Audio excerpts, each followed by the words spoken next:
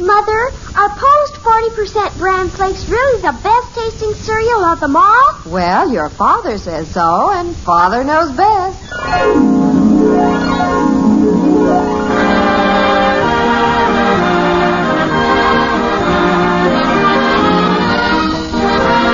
Yes, it's Father Knows Best, transcribed in Hollywood, starring Robert Young as Father. A half hour visit with your neighbors, the Andersons. Brought to you by America's largest selling bran flakes, Post 40% bran flakes, and by Instant Postum, a good tasting drink that's entirely caffeine free.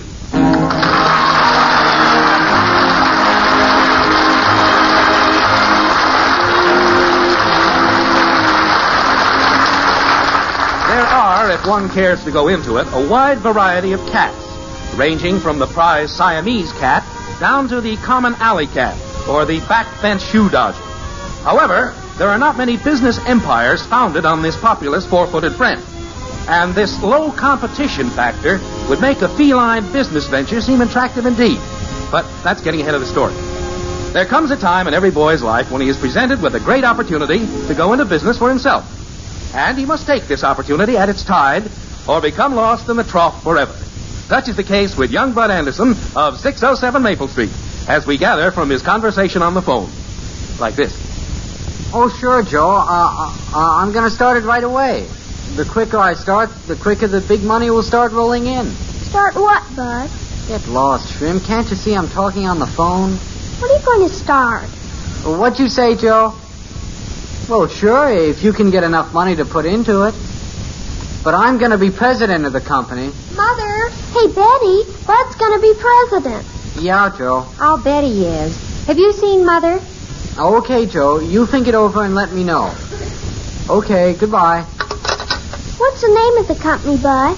Oh, I haven't settled on anything yet. What kind of a harebrained scheme have you gotten yourself into now? It's not a harebrained scheme. This is a real, regular, solid business. I'll bet. It could make me independently rich. Oh, sure. What are you going around selling this time? Dr. Snell's milkweed salve? No, I'm not. Is it the plastic gravy boats again? Look, I'm not going around selling anything. This is a real business. I talked it all over with Mr. Sprott. Who's Mr. Sprott? He just happens to be a big businessman from the East. Gee, where'd you meet him, Bud?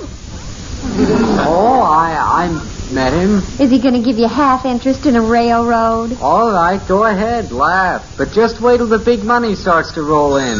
I'll get it. No, I'll get it. It's Ralph. Hello? Oh, oh no, Mr. Anderson isn't home from the office yet. What? Oh, why, yes, he's here. Well, it's for you, Bud, Mr. Sprott. Gee, he sounds important. Naturally. Hello, Mr. Sprott. Oh, yes, sir. Yes, I'm checking into that. Yes, I, I will just as soon as I get the other matter settled. Check. Check. Check. Check. All right, Mr. Sprott. Goodbye. Um, Bud, just what is this business you're going into? Oh, it's pretty complicated. I doubt if you'd understand it. Bud? Where are you, Bud? In the den, Mom. I, um, have a note here from your teacher to remind you to do your homework in history and arithmetic. Well, I don't think I'm going to need that school stuff much longer. What's this? I might have to quit school pretty soon anyway. Yeah, he's going to be the president of a check company. All right, Shrimp, don't blab everything. You got it wrong anyway. What's this all about, Bud? Oh, it's a. Margaret, I'm home. Where is everyone? Hey in the den, dear. Oh.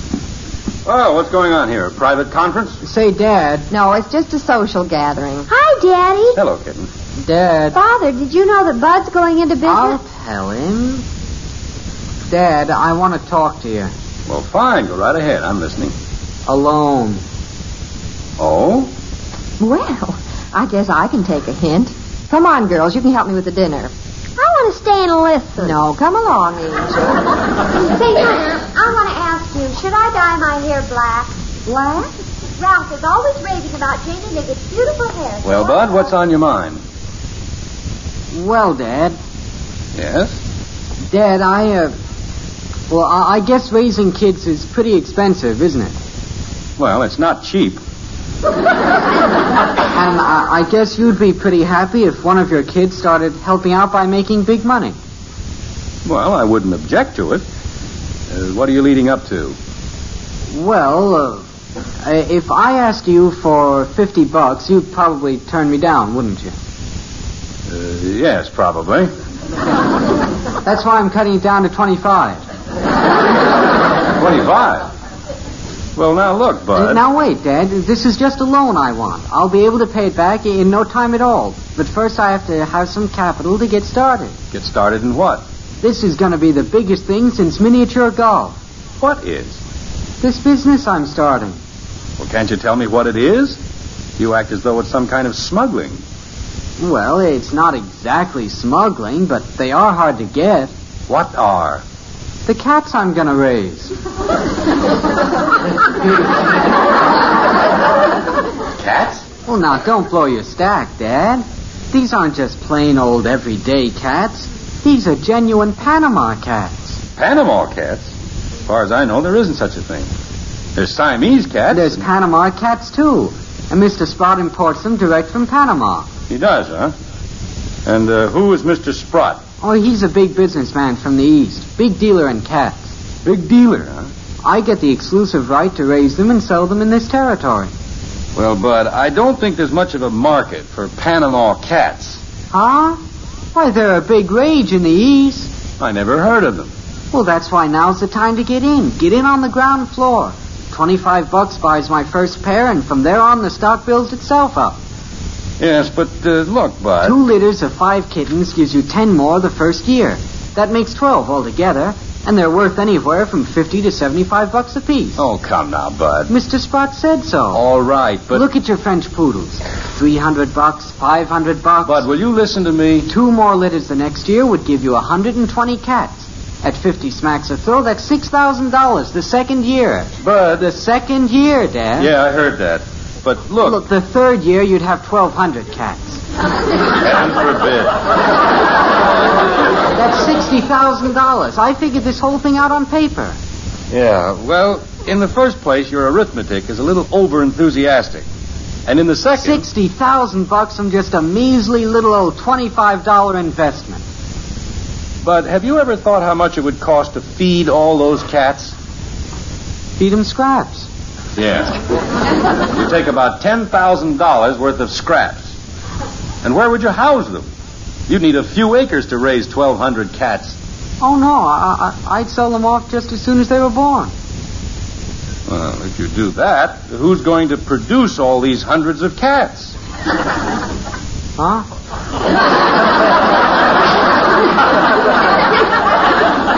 Now, look, Bud, I don't know what this Sprott told you, but. Uh, Holy cow, Dad. You, you always throw cold water on everything I try to now, do. that's not true, Bud. I was just trying to make you see. I that- knew it was no use to ask you for the money. Well, now you've got better judgment than this. If you just stop and figure it out carefully. You won't lend me the money, huh? Why, certainly not. Okay, okay. Bud, come back here. Hi, Bud. Is Daddy going in business with you? Out of my way, Shrimp. How soon he's going to A start? lot sooner than anybody thinks.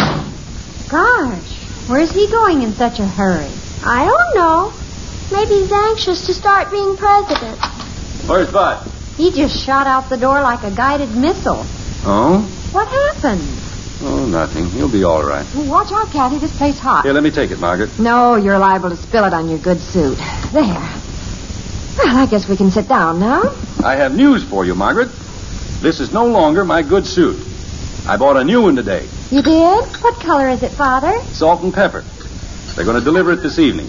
But wait till I tell you what I paid for it. You'll never believe it. Ah, five hundred dollars. Well, it's just about that ridiculous. Fifteen ninety-five. What? Fifteen ninety-five. Oh, now, Jim. I know it sounds silly, but it's the truth. What's it made of? Burlap? No, sir. The finest all wool worsted material. I learned plenty about the clothing business from this fellow. What fellow?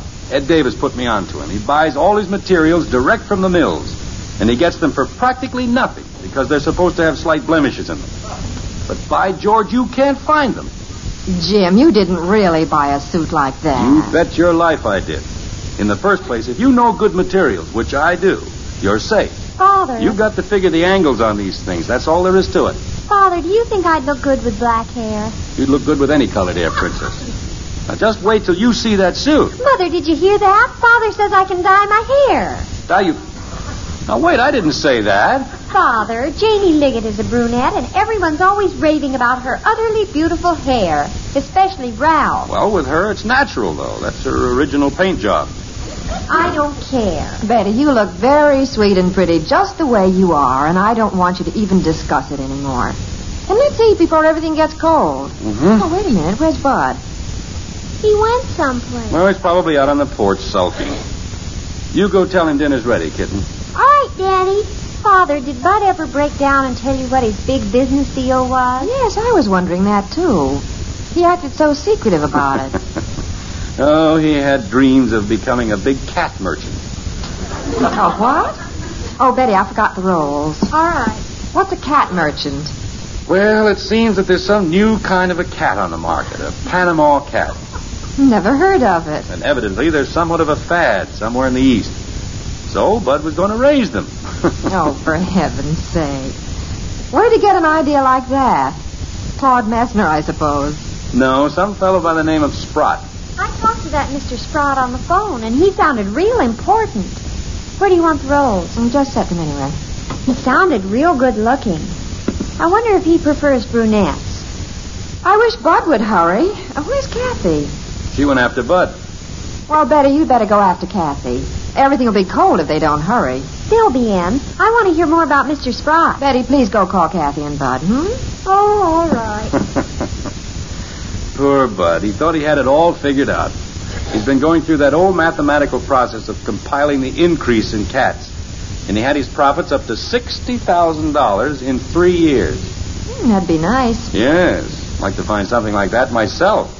I found Kathy, but we can't find Bud. I looked all over. Well, he'll be back. He's probably out walking, thinking. I know how he feels. Well, his dinner's getting cold. Betty, you'd better put his plate in the oven. Oh, wait a minute. I think I heard the door. Maybe that's him. Bud, is that you? Yeah, Well, dinner's on. You'd better hurry. I'm coming. Pass the bread, please, Father. Where were you, Bud? Oh, oh. Well, Dad, I did it. Did what, son? I made up my mind. Do you think we'd have the steamboat today if Robert Fulton had quit when everyone was against him? Well, chances are somebody else. you think we'd have lightning today if Benjamin Franklin had given up when everybody laughed at him? But what are you talking about? Just this. I'm in the Panama cat business. You're in the. But wait, where did you get the money? I sold my motor scooter for 25 bucks. Oh, Bud, you didn't. You bet your life I did. Pass me the meat. I'm hungry.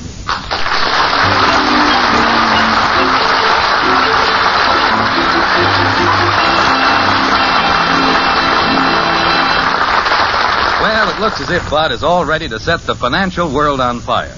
I suspect, however, that he's going to find business is a little more complicated than he imagined. But you mothers listening in, if you want to solve the problem of what to serve for breakfast, listen. You've undoubtedly heard many times that bran is good for you because it contains those important keep regular benefits. Perhaps, Mother, you've even served it, but found that your family wasn't too keen about its flavor. Well, all that's been changed. Yes, something wonderful has happened. Today's new Post 40% bran flakes have a perfectly delicious new flavor. A magic oven flavor and crisper texture that's so good. This cereal is becoming the breakfast favorite of more and more people every day.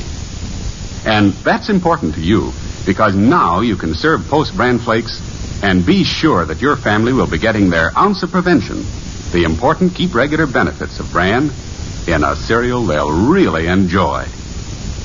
With this in mind, I hope that you'll start serving Post 40% Bran Flakes regularly. For goodness sake, eat Post Bran Flakes. So good and so good for you. But when you do your shopping this weekend, don't forget Post 40% Bran Flakes, America's largest selling bran flakes. They're good and so good for you.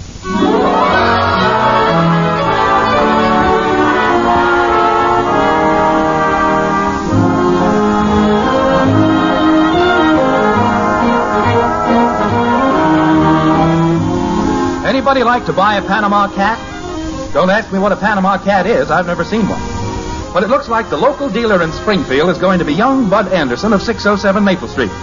The other members of the family, Jim Anderson in particular, seem to have certain misgivings about this feline cartel. But Bud is riding high on a rosy wave of optimism. Like this. How can it miss? Everybody likes cats. But the point is, Bud, even if the cats are wonderful, it, it takes so long to raise them. Not these cats, Mom. They grow fast. They come from Panama, down in the tropics. Everything grows fast down there. All right, they grow fast down there. You're going to be raising them up here. Yeah, but they don't know the difference.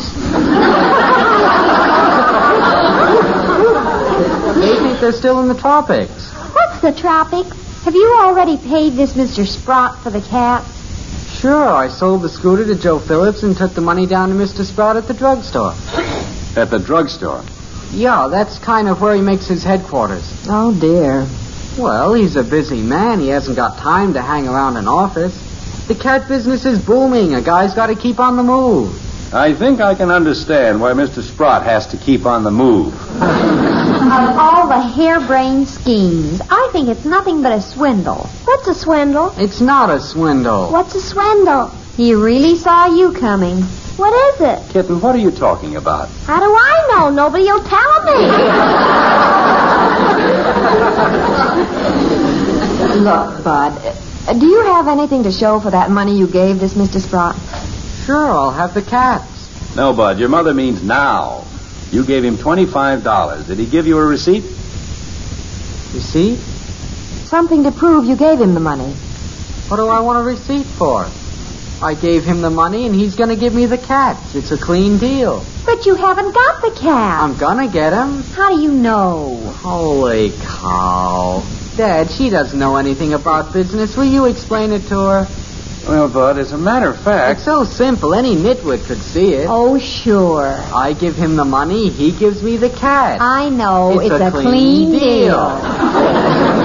I give up. You're hopeless. Positively hopeless. Women, they just don't understand business. I understand it. You gave the man the money, and he's gonna wash the cat.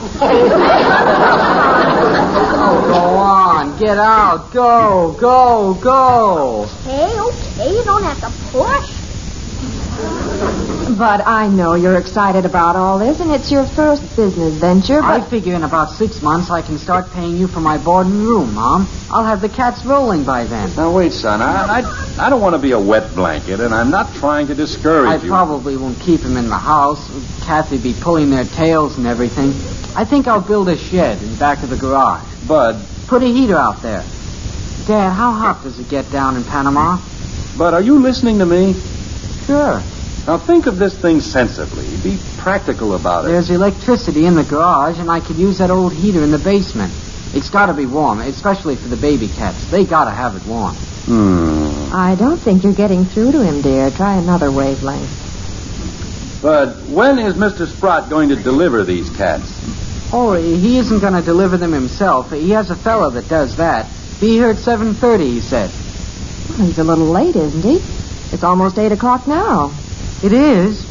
Well, holy cow. May- maybe he couldn't find the house. Is the porch light on? The porch light is on. Now look, Bud, old man, let's face some simple facts. The chances are about 99 to 1 that you've thrown your money away.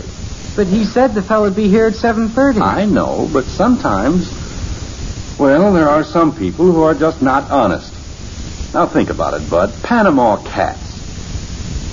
Doesn't it sound a little ridiculous? No.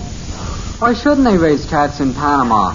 He'll, he'll probably be here any minute. He probably got tied up with, with, with some other deliveries or something. Mother, Yes? Ralph hasn't called, has he? Are you expecting a call? He's over in Hillgrove. Not yet. I thought I heard the phone. I'll let you know. Is that somebody at the door? No, Bud. Now settle down and let's face the truth. You've probably lost your $25. I'm going to check with the Better Business Bureau in the morning. Tell them about this cat deal. But you've had your first experience with a swindler, a gyp artist. It could be a valuable lesson. Mommy, where are my pajamas? Uh, they're with the clean clothes on the back porch. I'll get them. Gee, Dad, uh, Mr. Sprout told me I'd get the cats. He told me right there in the drugstore. I know, I know, but you should have checked on this man Sprott before you gave him the money. I did. I asked a lot of questions. Who did you ask? Mr. Sprott. Oh, Bud. I knew he was honest, Dad. He had a gold watch chain and wore black shoes. Oh, Fine. But you have to know more than that to tell if a man is honest. You have to analyze what he says, see if it makes sense. Uh, take my experience today, for example. I bought a suit, a whole suit for just fifteen ninety-five. Dollars? Fifteen dollars and ninety-five cents. Now, the first thing a person would say is that's impossible. The suit's no good. You're being swindled. Yeah. But I sized up the salesman, analyzed his claims, inspected the material and workmanship in the suit, and I found that everything they claimed for the suit was true. It was a real bargain. But you see, I checked, I investigated. I can't believe Mr. Sprott would jip me. He- He's such a nice guy. Ah, that's where you have to be careful. All confidence men are nice guys. You have to be able to see through that smiling front they put up. Hey, front door. Uh, maybe it's the guy with the cat. Is that the phone? Will you answer it, dear? It's the front door. Is it Ralph? Are you there, dear? It was the doorbell. Still who? It was the front door. Oh. It wasn't the guy with the cat. It's a package for you, Dad. Well, my suit. Margaret, come look at my suit. And after eight. Said he'd be here at 7.30 with a cat. Say, look at that. Now, what do you think of that suit, Bud? Fifteen dollars. Maybe one of the cats got away or something. I'm going in the den and slip it on. Uh, pick up those papers there, will you, Bud? Yeah. Jim. Oh, where'd he go? He's in the den putting on his suit. Oh, don't look so sad, Bud. I know it hurts to lose the twenty-five dollars. I just can't believe Mr. Sprott would do that, Mom. He was such a nice guy. Well, Cast an eye on this, Margaret. Doesn't this look like a seventy-five dollar suit? oh, is that it? Well, yes, it looks quite nice. Just feel that material. All wool. Mm-hmm. It goes to prove if you know your merchandise, you can pick up some real bargains. Two Panama cats for 25 bucks is a bargain. when they get here. How does it fit in the back, Margaret? Well, if I were you, I wouldn't do anything drastic like bending over to tie your shoelaces. All right, so it can be let out a little. After all, fifteen ninety-five and all wool. Hey, that's him. It's got to be him. Answer that, will you, Mother? It's the front door. Was that the telephone? No. Oh. Hey, come here, Dad. Mom, they're here. I got the cat. Oh no. I can't believe it. Where are they, Bud? Right here in the box. A guy just delivered them. Where are they, Bud? Let me see, let me see. Well, I never thought I'd live to see a Panama cat. Open the box. Let's have a look at these tropical felines. Holy cow. Those are Panama cats? Hey, I know those cats. They look like plain cats to me. They live in the next block. That's Boots and that's Mittens. Look out. Uh, grab them, Bud. Oh, who left that front door open? Catch him, Dad. They're getting out. There they Well, go. There's my cat. I'll get him. Well, don't you want your coat? We'll be right back.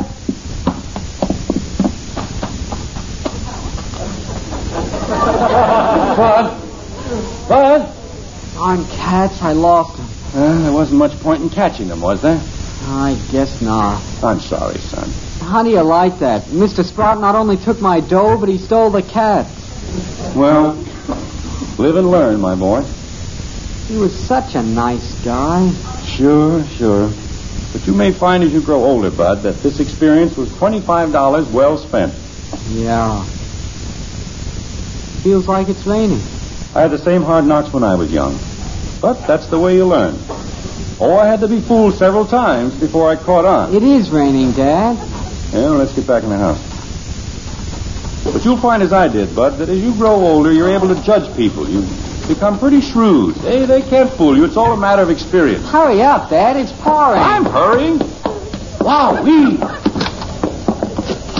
Gee, we got soaked. Ooh, the cloudburst. Coming down in buckets. Jim, for heaven's sake, look at you. Hey, Daddy, look at Daddy. Well, I got wet. What about it? It won't hurt the suit. It. It. Uh... Margaret, something's wrong. Hey, Dad, your suit's moving. Moving? It's getting smaller. Oh, that crooked salesman. Live and learn, dear. Fifteen ninety-five. Well, let's say fifteen ninety-five for the coat, dear. The pants are going up. The fella cheated you on that suit. How come? I can't understand it, Bud. He was such a nice guy.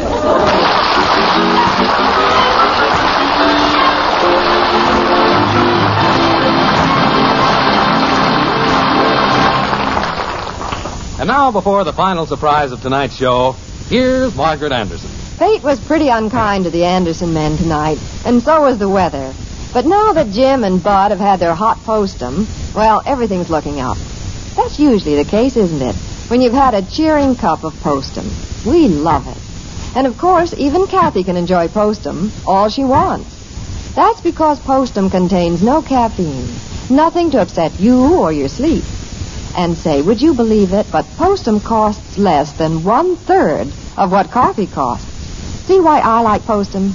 Well, why don't you try it on your family? It's instant. Instant postum.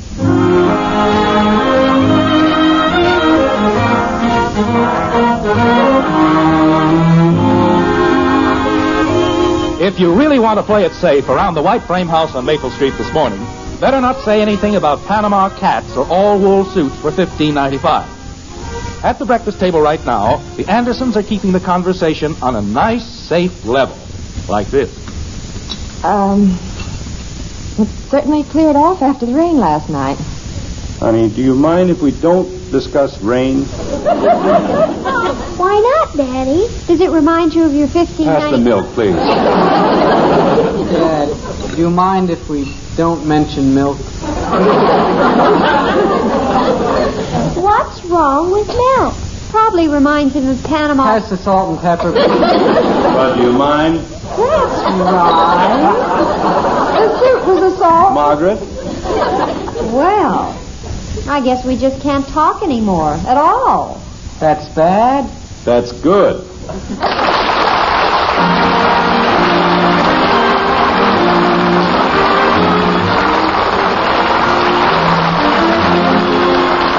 Join us again next week when we'll be back with Father Knows Best, starring Robert Young as Jim Anderson. Until then, good night and good luck from the makers of Post 40% Bran Flakes, America's largest selling bran flakes, and Instant Postum, the drink that's entirely caffeine free. In our cast were Ted Donaldson as Bud, Dorothy Lovett, Rhoda Williams, and Helen Strome. Mom, I think you're beautiful. Well, thank you, Johnny. You're the most beautiful woman in the whole world. Thank you, Johnny. Mom, Yes, Johnny. Can I have wheat meal for breakfast tomorrow? Sure, make him happy, Mom, with the best hot cereal anywhere. Post Wheat Meal is packed full of solid nourishment, great for kids, and so wonderfully delicious. Post Wheat Meal cooks in just three minutes. Try rich, hot Post Wheat Meal with a picture of Roy Rogers on the package. Post Wheat Meal, the best hot cereal you ever ate. Friends, 90% of forest fires are man-made due to thoughtlessness and carelessness. So, on your vacations and weekend trips, be watchful of sparks from your matches and smoking, and take special care of your campfires, won't you? Only you can prevent forest fires. Father Knows Best was transcribed in Hollywood and written by Paul West and Roswell Rogers. This is Bill Forman speaking.